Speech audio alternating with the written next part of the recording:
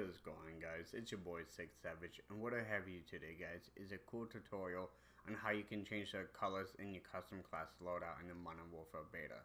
So what you guys are going to want to do is go ahead and go to your custom class and then hit triangle, then go to rename, and then hit L2 and triangle and then put on this symbol like you guys see me do here.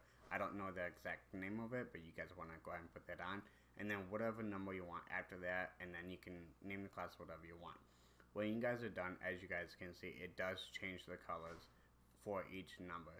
So on the very last custom class loadout, I'm going to be doing every single number so then you guys can see all of the different colors that are with each number.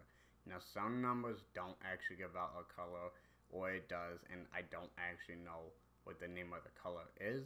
So if you guys know the color, go ahead and put it in the comment sections below let me know, but I will be putting a question mark next to the numbers that I don't know which colors they are.